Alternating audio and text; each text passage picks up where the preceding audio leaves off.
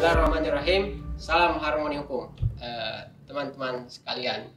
Terima kasih eh, pada kesempatan ini kita sebelum kita masuk ke untuk mendiskusikan terkait eh, tanggung jawab korporasi dan HAM dalam tanggung jawab korporasi dalam panduan bisnis dan HAM kita akan eh, menjawab dulu beberapa pertanyaan dari eh, komentar. Jadi ada pertanyaan dari hanya orang biasa. Luar biasa juga ini namanya, hanya orang biasa. Salam Jadi dia ya ha- hanya orang biasa ini bertanya bahwa kalau memang eh, ini terkait dengan eh, hik domino ya. Kalau memang eh, apa? Kalau memang itu tindak pidana, kenapa bapak-bapak Dewan Legislatif itu tidak membuat undang-undang atau larangan aplikasi terhadap eh, sarana atau aplikasi tersebut? Yang kedua, kenapa bapak-bapak Dewan Eksekutif mungkin ini maksudnya aparat penegak hukum ya masih melakukan operasi pinggiran? Merazia para pemain eh, tidak berusaha menutup eh, sumber kejahatan eh, eh, tersebut. Ya. Ya, eh, terima kasih banyak Pak Hasbi. Salam harmoni hukum dan eh, terima kasih untuk atensi eh, kawan-kawan semua untuk memberikan komentar pada eh, item atau pada tayangan video khususnya tentang Higgs domino. Jadi kalau kita bicara dalam konteks eh, aplikasi dan eh, permainan Higgs domino tentunya sebenarnya kalau kita pertanyaannya apakah perlu undang-undang, mungkin sebenarnya tidak perlu undang-undang sebenarnya secara spesifik ya karena sebenarnya kita sudah punya undang-undang 19 tahun 2016 tentang perubahan undang-undang 11 tahun 2008 tentang informasi dan transaksi elektronik sehingga eh, merujuk kepada undang-undang tersebut khususnya di pasal 40 ayat 2B maka saya saya menurut saya sebenarnya eh, pasal ini bisa dijadikan landasan hukum sesungguhnya sehingga eh, aplikasi X domina ini jika dipandang sebagai aplikasi eh, perjudian dan otomatis tentunya akan melanggar hukum maka sebenarnya bisa dilakukan pemblokiran dan atau kemudian memutus akses eh, aplikasi ini. Tentunya ini yang memiliki kewenangan adalah Kementerian eh, Informasi dan Komunikasi Republik Indonesia. Namun tentunya eh, jika kita melihat debat tentunya akan akan ada muncul bahwa ada pihak yang mengatakan bahwa permainan domino itu bukan bukan perjudian sebenarnya. Jadi eh, lebih kepada pro dan kontra. Tetapi lepas dari itu semua sebenarnya kita harus melihat bahwa dalam permainan ini ada transaksi yang terjadi khususnya yang biasa disebut dengan eh, transaksi chip itu jadi jual beli chip yang dihasilkan sehingga kemudian eh, inilah yang eh, menjadi eh, alasan sebenarnya Pak Hasbi kenapa kemudian eh, rahasia tadi itu se- sehubungan dengan pertanyaan kedua itu kemudian masih dilakukan. Eh, hanya memang menurut saya sebenarnya eh, harusnya ini bisa dilakukan lebih lebih terarah, terstruktur dan kemudian tidak tebang pilih sebenarnya. Karena begitu masifnya eh, begitu masifnya permainan Higgs domino ini dimainkan oleh oleh setiap orang di setiap sudut eh, kota di Indonesia ini. Dan eh, hal inilah kemudian eh, di mana eh, kita juga membutuhkan tentunya partisipasi dari masyarakat sebenarnya untuk mengadukan aplikasi ini jika di- dipandang atau diduga melanggar eh, melanggar hukum ke Kementerian Informasi dan Komunikasi. Jadi peran serta masyarakat sebenarnya menjadi sangat penting sebenarnya. Walaupun eh, di satu sisi yang kita lihat kemudian sebenarnya peran masyarakat sebenarnya justru sebaliknya lebih banyak yang menikmati permainan ini gitu. Kenapa? Karena eh, ada profit yang bisa dihasilkan dari permainan ini. Nah, ini akan menjadi eh, debat sebenarnya. Jadi ini bukan hanya tugas legislatif, eh, tugas legislatif sebenarnya Pak, tetapi juga merupakan tugas eksekutif dalam hal ini eh, pemerintah plus kemudian eh, masyarakat sebagai bagian yang tidak terpisahkan dari permainan ini khususnya anak-anak muda karena permainan ini sebenarnya sih tidak mengenal usia gitu. Orang tua pun kemudian eh, berbondong-bondong me- memainkan permainan ini dengan argumentasi dan dengan alasan yang sangat sederhana. Karena kemudian ada uh, unsur finansial yang bisa dihasilkan dari penjualan chip yang diperoleh dari permainan ini. Saya kira mungkin itu uh, tanggapan saya dari uh, pertanyaan ini. Yang intinya bahwa kita tidak memerlukan satu produk perundang-undangan baru, tetapi kemudian lebih mengoptimalkan eh, undang-undang informasi dan transaksi elektronik yang telah ada seperti sekarang ini. Ya. Terima kasih. Ya, itu tadi eh, jawaban atas pertanyaan hanya orang biasa. Semoga bisa menjawab dan sampai jumpa di kesempatan. Salam harmoni hukum. Eh, terima kasih. Kita kembali ke diskusi kita pada eh, kesempatan ini.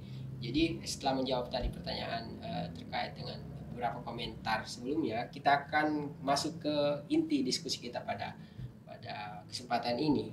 Yang kita pada kesempatan ini kita akan membahas terkait dengan eh, episode lanjutan lanjutan dari Iya. episode panduan bisnis dan ham sebelumnya karena sebelumnya kita sudah eh, beberapa episode Ya, terkait dengan panduan bisnis dan ham yang pertama terkait dengan pengantar yang kedua terkait tanggung jawab negara dan pada kesempatan ini kita akan masuk ke tanggung jawab korporasi Iya. dalam panduan bisnis dan ham. Terima kasih Pak Maskun eh, sudah eh, berkesempatan untuk berdiskusi ber- bersama kita pada kesempatan ini. Jadi saya kira diskusi ini sangat menarik karena kalau kita uh, mencermati situasi kehidupan uh, kebangsaan kita saat ini, pemerintah sedang menggalakkan uh, kebijakan pembangunan, Hmm. pembangunan. Jadi kalau kita lihat uh, bahkan rezim hukum uh, pemerintah menciptakan rezim hukum misalnya undang-undang cipta kerja Hmm. untuk uh, memudahkan investasi eh, dan mengham, apa mengubah eh, seluruh regulasi yang dianggap meng- menghambat investasi tersebut untuk mengutamakan kepentingan pembangunan. Iya. Nah, di tengah kondisi seperti ini tentu kita mengkhawatirkan eh, kita membutuhkan seperangkat instrumen yang bisa melindungi warga negara untuk dalam panduan bis- eh, dalam menjaga agar tidak terjadi pelanggaran HAM maupun eh, kerusakan lingkungan yang masif. Nah, saya kira panduan bisnis dan HAM ini bisa menjadi jaring pengaman untuk hal tersebut. Nah, kalau kita sebenarnya mencermati menarik melihat komentar dari eh, Menteri Ekonomi dan Pariwisata dan eh, Menteri Pariwisata dan Ekonomi Kreatif eh, Pak Sandiaga Uno pada salah satu forum internasional kemarin yang sempat menyampaikan gagasannya terkait pariwisata berkelanjutan. Yang menurutnya penting untuk didorong mendorong pariwisata berkelanjutan yang tidak hanya memperhatikan lingkungan tapi juga eh, mengangkat eh, martabat budaya lokal masyarakat eh, serta pengetahuan tradisional guna menciptakan keseimbangan antara pariwisata massal dan pariwisata yang berkualitas. Ah, berangkat dari hal tersebut Pak Mas Kun. Bagaimana melihat eh, bagaimana menurut Anda eh, eh, melihat hal tersebut eh, serta bagaimana keterhubungannya tanggung jawab korporasi dalam eh, panduan bisnis dan HAM? Ya, eh, terima kasih banyak Pak Hasbi dan eh, tentunya eh, bersua kembali sahabat Harmoni Hukum eh, pada episode kali ini yang tentunya masih kelanjutan dari eh, panduan eh, bisnis dan HAM. Ya. Ya, eh, mencermati pertanyaan yang lumayan menggelitik sebenarnya karena seolah-olah kalau kita bicara tentang segala sesuatu yang sustainable development, Ya. pembangunan berkelanjutan, Ya. Itu semua bisa dikontekskan gitu. Jadi Ya. seperti itu. Itu mungkin kerangka berpikir awalnya. Ya. Sehingga kalau kemudian pertanyaannya apa yang dikemukakan oleh Menteri Pariwisata dan Ekonomi Kreatif tentang uh, apa pariwisata yang berkelanjutan, ya tentunya kita perlu mengapresiasi. Ya. Kalau kemudian dalam konteks ini kan kita bicara dalam konteks gagasan, Gagasan. ide Ya. dan lain sebagainya. Sehingga kalau saya secara pribadi dalam konteks eh, panduan bisnis dan HAM memandang bahwa apa yang disampaikan oleh Menteri Pariwisata dan Ekonomi Kreatif ini tentunya sejalan. Ya. Ya kan? Kita kita mencoba melihat ruhnya dia sejalan gitu. Bagaimana kemudian bisnis dan bisnis dan HAM itu bisa berjalan pada pada garis yang sama Ya. sehingga kemudian tidak saling me- me- mencederai satu dengan yang lain Ya. di mana kemudian eh, aktivitas-aktivitas eh, pariwisata berkelanjutan itu akan sejalan dengan isu-isu hak asasi manusia Ya. dan lingkungan. Nah, tapi, Ya. jadi ada tapinya nih Pak Hasbi. Ya. Kita jangan terjebak pada eh, model atau slogan-slogan masa lalu gitu. Kita Ya. asik hidup dengan eh, apa yang kita celotehkan, tetapi ketika kemudian kita em, mencoba untuk mengkonkretisasikan gagasan seperti pariwisata berkelanjutan ini kemudian Ya. di lapangan itu nggak ada. Gitu. Ya. Jadi idenya ada, konsepnya ada, tetapi kemudian bagaimana memfaktualisasikan di lapangan, me- melihat keter- yang mengkonkretkan itu nggak ada. Ya. Bukan nggak ada, kalaupun juga ada terlalu lambat gitu dalam dalam prosesnya. Sehingga kemudian yang terjadi sebenarnya adalah ya kalau kita bisa bahasakan mungkin ya hanya sebatas lip service saja sih Gimmick, sebenarnya. gimmick. Lah kalau bahasa anak-anak sekarang ini. Padahal itu sebenarnya sangat kita butuhkan gitu. Iya. Nah, padahal kita butuhkan karena satu sisi kita butuh pariwisata. Kenapa butuh pariwisata? Karena ada pendapatan dari negara dari itu. Tetapi kan kemudian ada aspek lain gitu ya untuk kasus kan. Sehingga sebagai em, bahan evaluasi awal sahabat harmoni hukum eh, harusnya tentunya Kementerian Pariwisata dalam hal ini em, harus bisa melihat sebenarnya bagaimana sih kebijakan Iya. eh, pariwisata yang ada di Indonesia hari ini. Iya. Karena sebenarnya banyak debat dan diskusi yang sebenarnya kita agak sedikit pesimis sebenarnya kalau Iya. kemudian kita bicara dalam konteks Pariwisata apakah ide dan gagasan ini kemudian bisa di kita ngambil contoh lah misalnya satu contoh tentang eh, pembangunan eh, pembangunan pariwisata di Taman Nasional Komodo Iya, yang sudah dalam beberapa tahun ini kemudian di Galakan. di- di- digalakan dan kemudian ya kita juga saksikan banyak banyak pro dan kontra terhadap hal ini dan pro dan kontra ini sebenarnya yang salah satu yang harus dipikirkan bahwa komodo ini kan sebenarnya salah satu eh, salah satu binatang satwa yang dilindungi yang mem- memang dia tidak bisa hidup di sembarang tempat gitu Iya. sehingga sangat penting sebenarnya menjaga Kelestarian. habitat habitat dan kelestarian dari si komodo ini Iya. termasuk sebenarnya respon keprihatinan itu dan kemudian eh, juga kan UNESCO kan juga Iya. UNESCO juga memberikan eh, memberikan rekomendasi sebenarnya eh, terhadap proyek yang mega proyek sebenarnya yang dilakukan di Taman Nasional eh, Pulau Komodo seperti itu.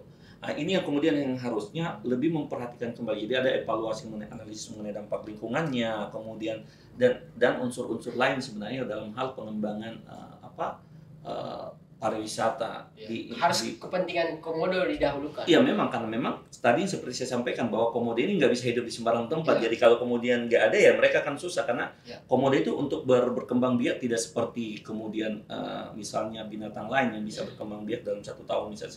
Sehingga kemudian eh, dalam hubungannya kemudian dengan eh, tadi pertanyaan Pak Hasbi tentang korporasi karena sebenarnya kan contoh dari pengembangan eh, apa eh, objek pembangunan pariwisata di Pulau Komodo kan sebenarnya majority sebenarnya dilakukan oleh korporasi Korporasi. sebenarnya apakah itu kemudian BUMN atau kemudian swasta kan Iya. seperti itu. Nah ini yang harusnya eh, dilihat bahwa eh, ada dua kepentingan tentunya kalau kita bicara kalau kita bicara korporasi ya kepentingannya jelas Iya. mereka bicara bisnis. Kalau kita bicara komodo kita bicara lingkungan ya kita bicara tentang lingkungan tentu tentunya seperti itu sehingga eh, ini yang harusnya menjadi frame bahwa aktivitas-aktivitas yang dilakukan oleh korpor- korporasi itu boleh-boleh saja tidak dilarang tetapi harus diingat catatan kritisnya adalah bahwa eh, aktivitas usahanya itu tidak boleh merugikan lingkungan atau tidak bisa merugikan ent- entitas lain. Ya. Mungkin eh, sebagai seorang pembelajar hukum mungkin sahabat harmoni hukum penting untuk me, me- mengquote ya apa bahasa Latin sic utere tua alinum non leades atau kalau kita terjemahkan bebas asas ini kemudian bermakna bahwa em, Anda dapat kita dapat menggunakan properti Anda atau melakukan aktivitas usaha secara bebas namun ada namunnya nih Ya. namun harus dibatasi dengan uh, tujuan tidak merugikan orang lain atau kepentingan lain Ya. nah ini yang kemudian harusnya menjadi uh, menjadi frame kemudian menjadi dasar ketika kita bicara dalam konteks bagaimana korporasi Ya. harus membingkai aktivitasnya tanpa harus merugikan dua kepentingan Ya. yaitu HAM itu sendiri karena HAM ini akan selalu berhubungan karena Komodo pun juga punya HAM sebenarnya Ya. kalau saya termasuk lingkungan. Ya. Nah, inilah yang harusnya menjadi frame yang Ya. harus membingkai harus membingkai eh, aktivitas-aktivitas eh, korporasi khususnya termasuk sebenarnya pemerintah dengan Ya. gagasan yang disampaikan oleh Bapak Menteri Ya. Pariwisata dan Ekonomi Kreatif. Saya kira seperti itu Pak Asbi. Terima kasih Bapak Sekun. Sangat menarik tadi gagasan yang disampaikan. Intinya adalah eh, korporasi bertanggung jawab untuk eh, Iya. menghormati HAM dan eh, menjaga agar aktivitasnya tidak merugikan bisnis dan lingkungan. Oke, terima kasih. Salam harmoni hukum. Eh, kita kembali lagi ke sesi ketiga pada kali eh, pada kesempatan ini. Nah, setelah tadi menguraikan terkait dengan bagaimana tanggung jawab korporasi bisa lahir, nah pada kesempatan ini kita akan menguraikan eh, kita ingin saya ingin bertanya Pak Maskun bagaimana eh, bentuk penghormatan korporasi ini kan korporasi harus menghormati eh, bisnis dan ham apa aktivitas bisnisnya harus menghormati ham dan lingkungan hidup. Nah, bagaimana bentuknya, Mas Ya. Kun? Ya, eh, terima kasih banyak Pak Hasbi. Eh, sahabat Harmoni Hukum, Ya. eh, tadi di, en- di ending sesi sebelumnya, eh, Ya. tentunya kita coba untuk fokus ke korporasi sebenarnya. Karena Ya. kan korporasi ini adalah bagian yang tidak terpisahkan dari aktivitas-aktivitas bisnis sebenarnya. Sehingga kalau kita bicara dalam konteks bentuk penghormatan eh, korporasi pada aktivitas eh, bisnis, maka itu sebenarnya bisa kita lihat dalam panduan eh, bisnis dan HAM ya yang se- se- yang sebenarnya secara sederhana dapat dimaknai dalam dua hal. Yang pertama adalah yang pertama korporasi harus menghindarkan uh, melakukan pelanggaran HAM. Tadi dari awal juga saya sudah sampaikan bahwa ini yang harus menjadi concern ya jadi fokus utama dari korporasi sehingga kemudian uh, ini akan menjadi poin penting sebenarnya bagi korporasi dalam melaksanakan aktivitas usaha dan bisnisnya. Jadi selalu ada penghormatan terhadap HAM. Ya. Kemudian yang kedua yang tidak kalah penting bahwa eh, korporasi harus mengatasi kemudian akibat dari eh, hak asasi manusia jika kemudian terjadi pelanggaran terhadap hak asasi Ya. manusia. Jadi bahwa dalam kasus atau dalam hal kemudian eh, hak- pelanggaran terhadap hak asasi manusia itu tidak bisa dihindarkan, Ya. maka seharusnya ada langkah-langkah yang bisa dilakukan oleh korporasi itu sendiri. Nah, ini yang kemudian konteksnya kita akan bicara tentunya ada tanggung jawab pemulihan ya di Ya. dalam tanggung jawab pemulihan dari korporasi yang kemudian secara spesifik dan eh, yang yang tentunya nantinya kita akan bicara pada Episode episode, selanjutnya. Ya. Tetapi paling tidak kita bisa mengetahui bahwa ada ada tanggung jawab sebenarnya Ya. yang bisa lahir dari korporasi dan dalam undang-undang PPLH juga kemudian sudah sangat jelas mengatur hal tersebut. Tetapi Ya. saya kira saya tidak akan banyak menguraikannya dalam konteks hal ini. Sehingga kalau kita bicara bagaimana memenuhi tanggung jawab uh, tersebut, maka sebenarnya uh, korporasi harus memiliki kebijakan sebenarnya. Jadi ada kebijakan dan proses yang yang sesuai dengan ukuran dan keadaan. Jadi ada ada uh, alat ukur yang kita Ya. gunakan, Ya. ya kan, supaya kita bisa bisa objektif. Nah Ya. ini kan kita harus bicara tentang objektivitas sehingga kemudian kita tidak hanya me- meng- mengklaim ya, Ya. me- mengklaim bahwa uh, apa yang dilakukan oleh korporasi itu melanggar HAM atau tidak dan Ya. seterusnya. Sehingga kalau kita bicara takaran, nah, tentunya ada beberapa hal. Yang pertama adalah ada sebuah eh, komitmen kebijakan untuk memenuhi tanggung jawab penghormatan terhadap HAM. Ya. Nah, ini yang harus dip- dipahami dengan baik dan ini sebenarnya yang harusnya dituliskan. Kemudian yang kedua, dia harus melakukan uji tuntas Ya. hak HAM itu sendiri gitu. Dalam hal dalam hal apa? Dalam hal proses untuk mengidentifikasi, mencegah dan atau kemudian melakukan mitigasi dan pertanggungjawaban terhadap bagaimana atau cara mereka mengatasi Ya. dampak dari aktivitas bisnis terhadap HAM. Ya. Jadi mereka tahu, jadi tahu kalau terjadi ini harus bikin apa sih sebenarnya. Dan kemudian yang ketiga, bahwa proses untuk melakukan pemulihan atas setiap dampak buruk terhadap HAM yang merugikan yang mereka hasilkan dan ketika mereka terlibat maka ini juga harus jelas. Ya. Jadi jadi benar-benar sebenarnya dari awal hingga akhir ketika Ya. terjadinya pelanggaran terhadap HAM akibat aktivitas kegiatan usaha atau bisnis yang dilakukan di kor- kor- oleh korporasi, korporasi sudah tahu apa yang harus dilakukan sahabat Ya. harmoni hukum.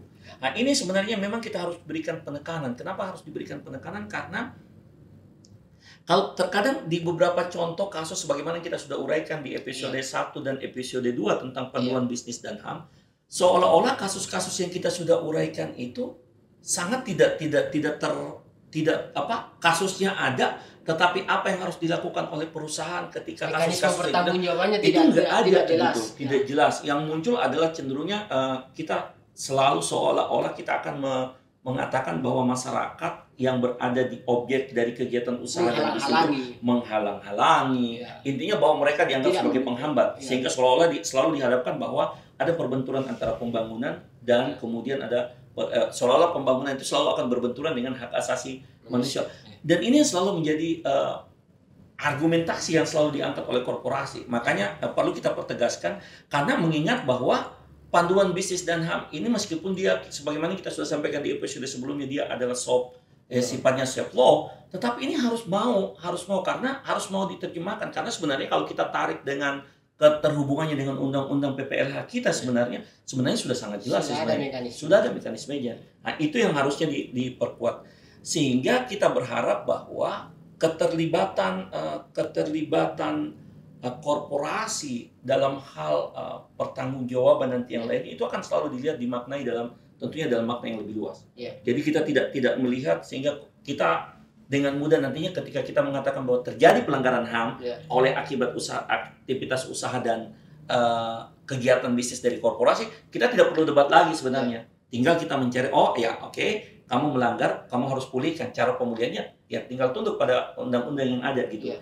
Kalau mau menggunakan instrumen internasional bisa pakai International Wrongful Act. Tetapi kalau mau pakai instrumen nasional ya jelas lagi gitu karena undang-undang PPLA sudah sangat jelas tentang pemulihan. Nah, ini sebenarnya memang yang harus dilihat oleh um, korporasi sehingga kemudian ada wujud nyata dari pertanggungjawaban atas uh, dugaan terjadinya pelanggaran HAM akibat Iya. aktivitas-aktivitas kegiatan bisnis dan usaha yang dilakukan oleh korporasi merujuk Iya. kepada berbagai macam contoh kasus-kasus di Indonesia sebagaimana yang kita sudah jelaskan di episode 1 dan episode 2 Pak Hasbi Iya. tentang panduan bisnis dan HAM. Saya kira Iya. seperti itu. Terima kasih banyak Mas Kun. Saya kira eh, sangat menarik apa yang tadi sampaikan bagaimana bentuk tanggung jawab korporasi yang menghormati hak asasi manusia dan lingkungan hidup itu terdiri atas dua poin yang saya catat yakni korporasi harus menghindari dalam melakukan pelanggaran HAM. Yang kedua adalah bagaimana korporasi bisa mengatasi akibat HAM yang ditimbulkan dari Pelanggaran. aktivitas usahanya. Ya. Ya, betul. Salam harmonikum. Eh, kita akan kembali ke sesi selanjutnya. Ini sesi terakhir Pak Mas Kun. Iya. Ya, kita akan eh, mendiskusikan terkait eh, kan tadi sudah jelas terkait dengan eh, tanggung jawab korporasi dan bagaimana bentuknya. Nah sekarang kita mau lebih spesifik nih Pak. Iya. Bagaimana sebenarnya bentuk tugas tugas yang diberikan kepada korporasi ini dalam panduan bisnis dan HAM. Iya. Hal-hal apa saja yang mesti dilakukan oleh korporasi ini Pak? Oke. Ya. Yo, uh, terima kasih banyak Pak Hasbi. Uh, sahabat Harmoni Hukum, uh, inilah sebenarnya tujuan kenapa kemudian uh, episode uh, Harmoni Hukum ini kemudian mengangkat salah satu topik tentang panduan bisnis dan HAM. Ya. Karena ini memang perlu kita masyarakatkan karena uh, mengingat di usia uh, 11 tahun Ya. uh, diberlakukannya panduan uh, UNGPs ya kalau kita bilang panduan hukum uh, bisnis dan HAM ini belum begitu marak kemudian digaungkan. Nah, sehingga Ya. kalau kita bicara tugas korporasi dalam konteks eh, panduan bisnis dan HAM, eh, secara sederhana sebenarnya ada dua pointers penting eh, sahabat harmoni hukum. Kita Ya. bicara tentang komitmen kebijakan Ya. dan kemudian kita bicara tentang uji tuntas HAM. Jadi selalu eh, eh, apa dua konteks yang tidak bisa di, di- Pisah. dipisahkan. Ya. gitu. Karena memang pada akhirnya contoh-contoh yang menunjukkan kepada kita bahwa memang keduanya nggak boleh dipisahkan gitu kalau Ya. kita bicara bisnis dan HAM.